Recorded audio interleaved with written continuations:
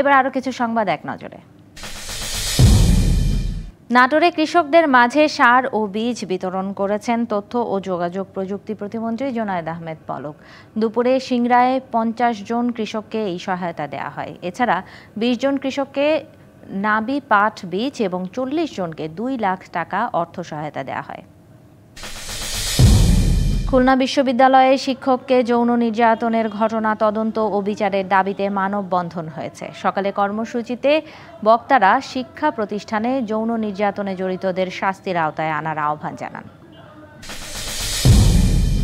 রাস্তা সংস্কারের দাবিতে নড়াইলে মানববন্ধন অনুষ্ঠিত হয়েছে দুপুরে সদরের আউরিয়া ইউনিয়নে মানববন্ধনে শত শত মানুষ অংশ নেয়